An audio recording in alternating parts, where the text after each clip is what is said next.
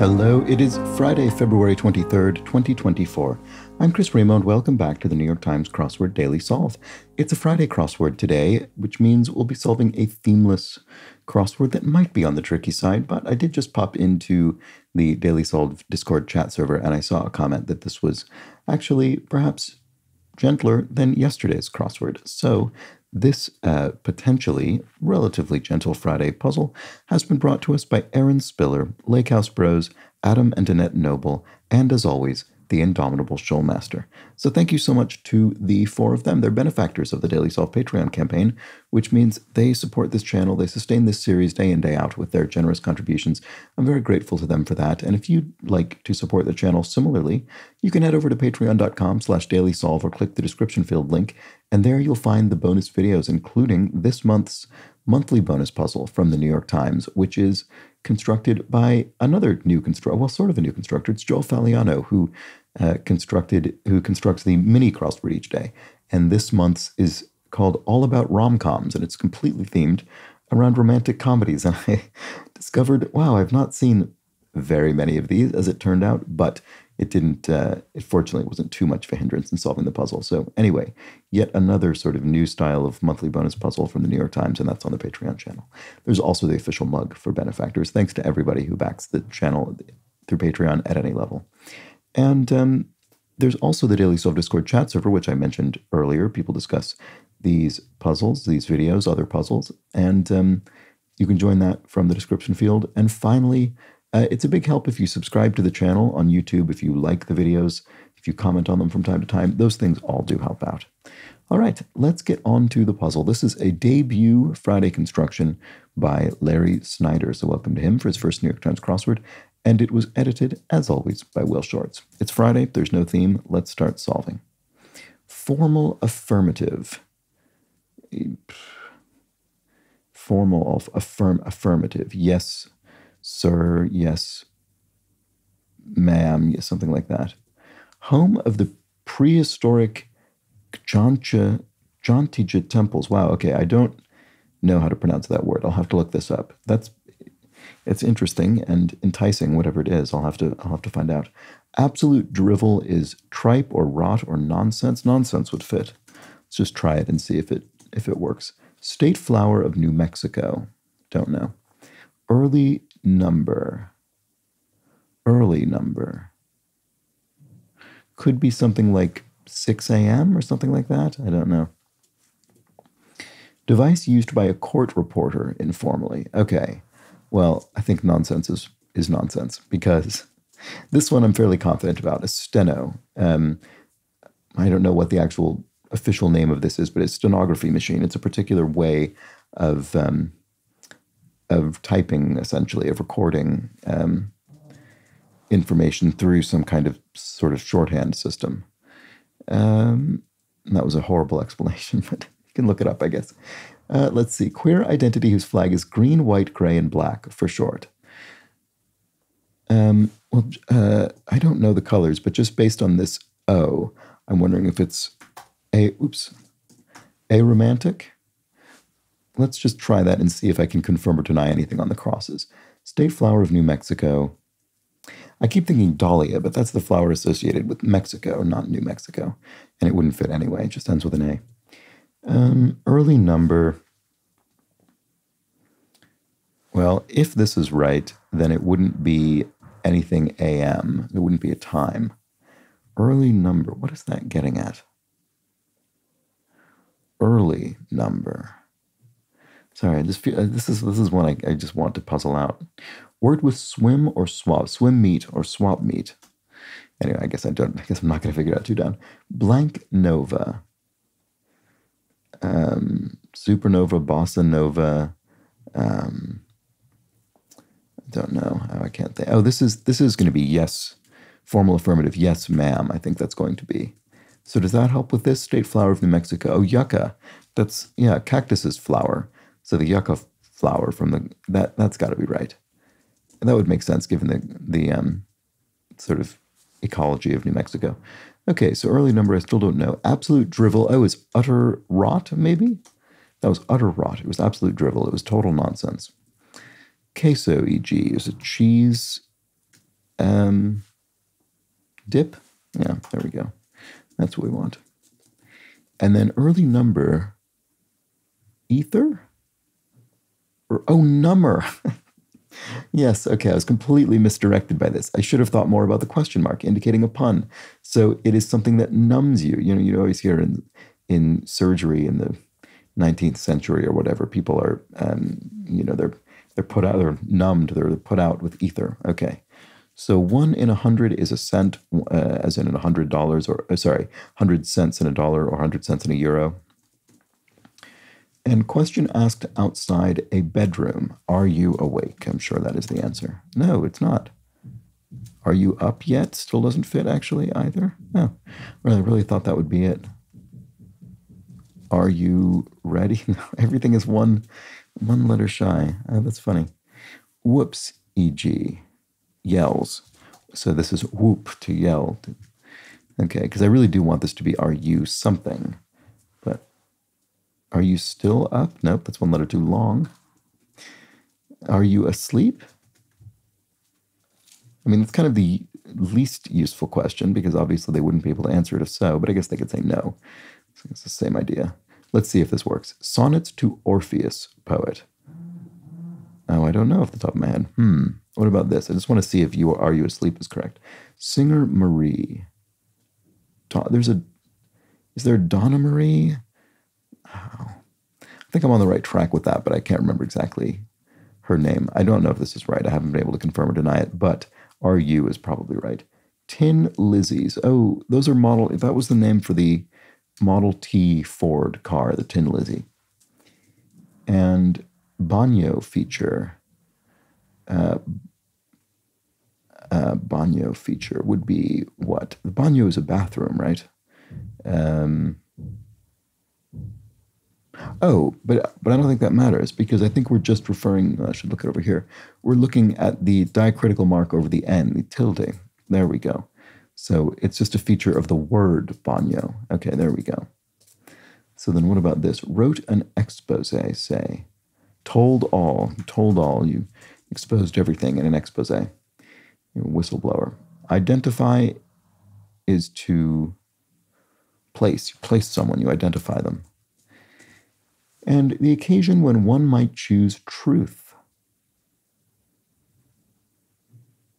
I don't know. Is it sort of in the game Truth or Dare? A sleepover?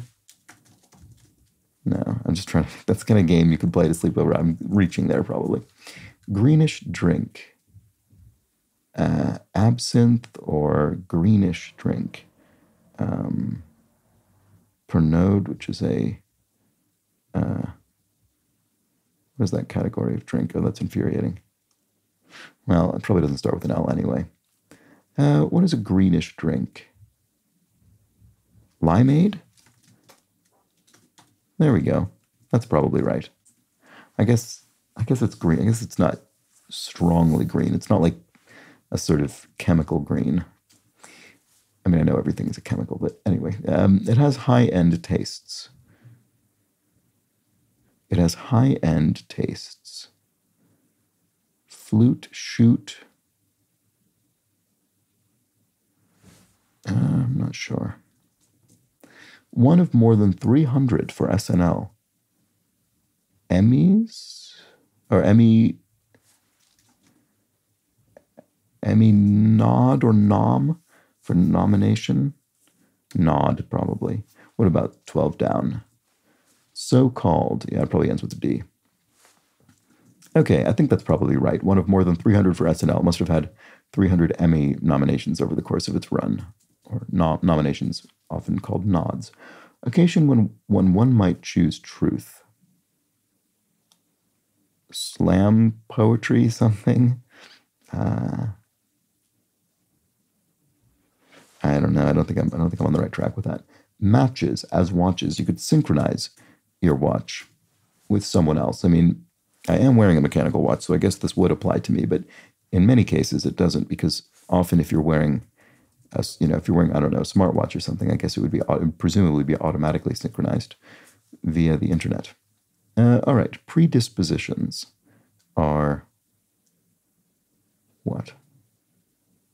Bents? You have a particular bent oops, towards a uh, towards a, um, a tendency or something, a predisposition, a bent. Okay, so what is this? Occasion when one might choose truth.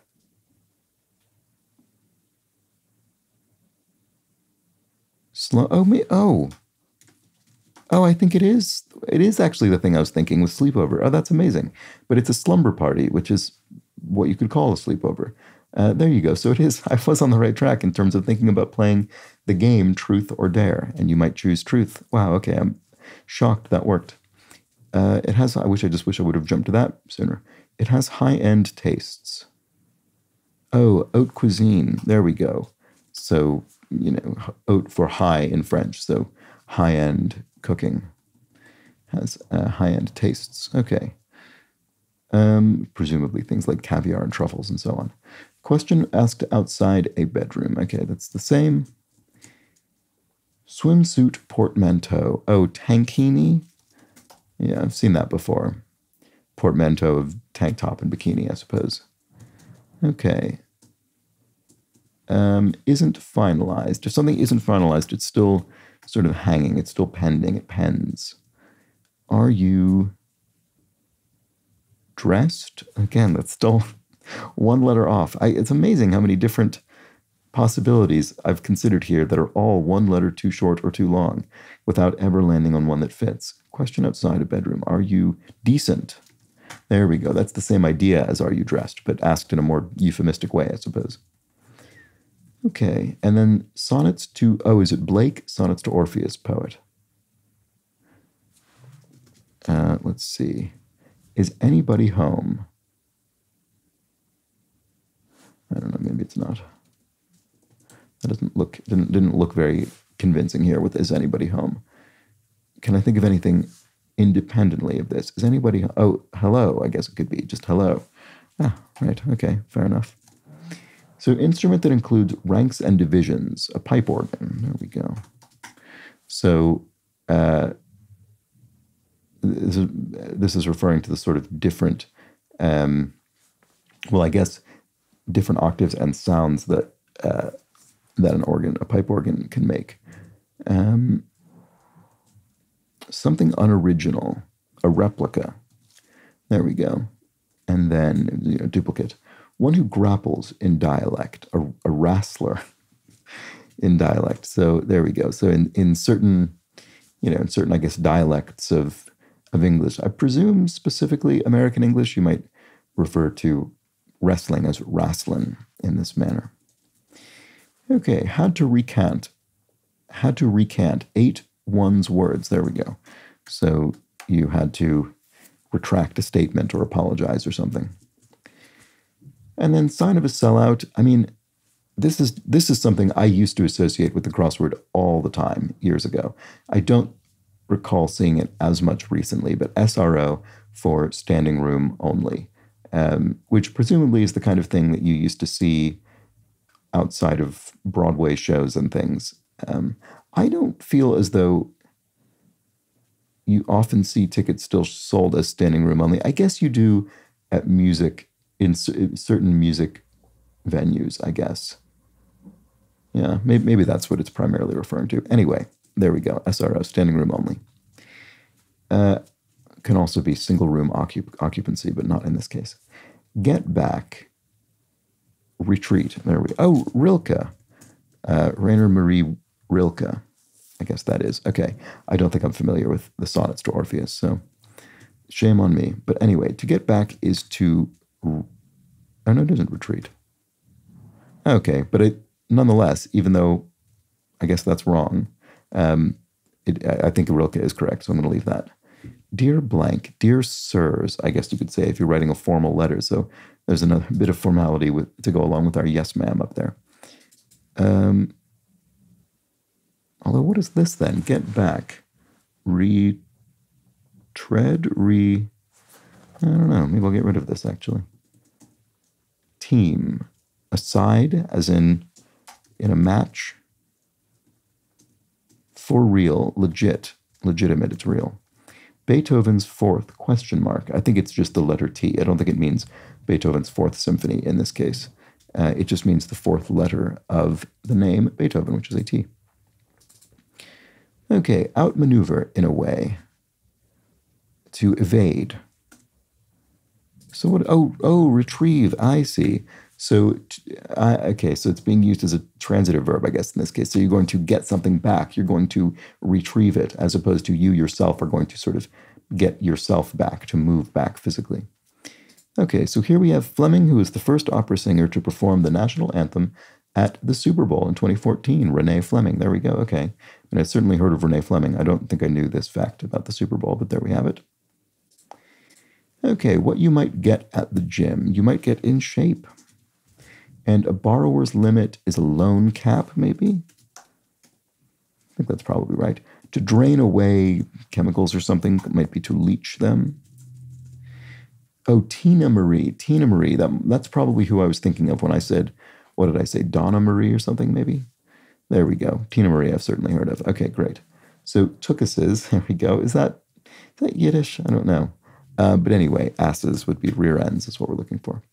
Stealing from the collection plate, for example, would be a secret something, a, a, a sac. Why do I not see what that is? Sorry. Major export of Ukraine, wheat. It's the sort of breadbasket of, of Europe, as it's often called. Um, what is this? Stealing from the collection plate is this feels like it's it's blindingly obvious, and I just can't think of the word. What about this? Covered in ink. You could be tattooed if you're. Oh no. Oh no, we need two two O's. There we go. Tattooed. It does fit. And then they resemble boas, so pythons, another kind of snake. There we go. Ignatius Blank, figure on Netflix's Wednesday. Okay, I have not seen Wednesday, but I do know it's about a character from the Addams family, and there is a cat- character on the Addams family called, is it Cousin It? So perhaps that's who this is or related to that person. But there we go. I think that's the answer. Um, ugh. Poo or boo or something? No, that doesn't look good here, does it? Uh oh? No. Liturgical chant. A liturgical chant is what? Can't think kicked off. Oh, this corner is really tripping me up. Flight components are. I don't know any of these things. Network for 15 Across. 15 Across says, longtime TV news colleague of Pelley, Cooper, and Whitaker. Do not recognize it. Singer Michaels. Oh, this feels like it should be blindingly obvious as well um, singer Michaels.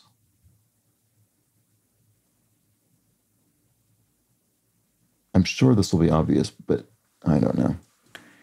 Stealing from the collection plate, for example, is. I keep th- just thinking of words like sacrifice and things, but that's obviously wrong. What sacrilege? It's sacrilegious. That is the word. That is the word I kept trying to think of, and it just would not come out of my brain. There we go. So ugh is blah. Oh, maybe this isn't tattooed. Is it tatted up? Maybe. Oh, could be. Could be. If you're tatted up, you're you're tattooed. You're covered in ink. So then ugh could be blah. Then, not blah. And then liturgical chant is a credo. Then you chant the credo, the kind of tenets of your faith, maybe. And then kicked off is begun. Okay, good. Wow, that sacrilege and tatted up really gave me what I needed especially tatted up because I had the wrong thing in there misleading me. Flight components are steps, as in steps of a, a, a flight of stairs, a staircase.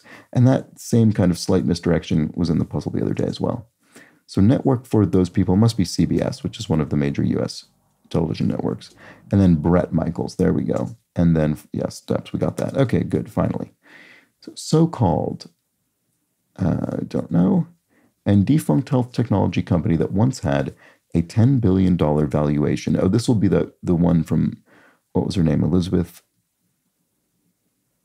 I d- I don't remember, but the company was Theranos, which claimed to be able to test blood sort of almost instantly from a tiny little pinprick uh, for diseases and things.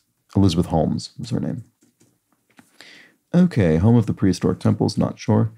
Longtime TV news colleague, not sure about that either.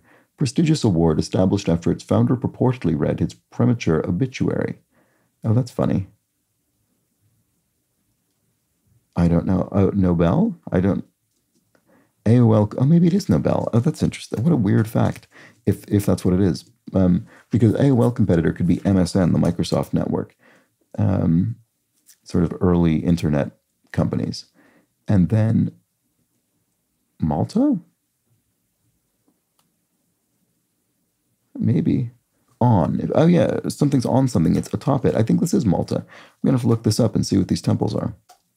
Okay, so windy location of myth, a labyrinth. There we go. From from Greek myth. Oh, but it's not windy, it's windy. There we go, because it winds around, you know, the the Minotaur's labyrinth. Okay. Oh, Stahl, Lesley Stahl. Oh, are these 60 Minutes journalists? So then here we have so called alleged, as in something was claimed to be the case. So called alleged. Oh, and this was Nobel. I'm really interested about this history. I'm amazed I haven't heard of that before. Uh, whence the phoenix? So whence, you know, from where did the phoenix arise? From the pyre. The phoenix rose from the flames. And then so-called is alleged, which we said, and then an unreliable news source could be a rag, you know, newspaper that prints scurrilous claims. So that's it. I don't know that I necessarily did find this easier than yesterday. Um, did I? Now I can't remember. I don't know. It might have been similar for me.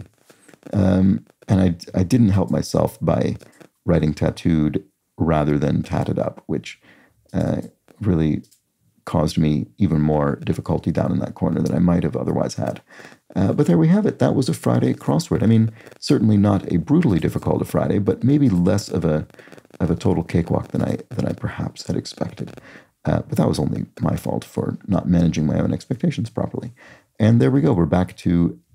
I know I was going to say we're back to a normal grid pattern, but that but the thing I was thinking of by contrast was the February bonus puzzle that I that I solved on the Patreon channel, which was the most recent crossword I solved before this one, which had an incredibly weird and non-symmetrical grid. And if anyone knows what it was supposed to represent, do let me know because I found it baffling. Anyway, that's utterly unrelated to this. Um, this was a Friday crossword with a completely symmetrical, rotationally symmetrical grid. So there we go. Nothing strange about that. And a nice debut from Larry Snyder. So uh, well done to him. And uh, and that's that for the Friday puzzle. Hope you enjoyed it. I'll be back tomorrow for a Saturday crossword, another themeless puzzle, possibly the trickiest uh, crossword of the week. We'll have to come back and find out. But until then, please do have an excellent remainder of your Friday. Take care.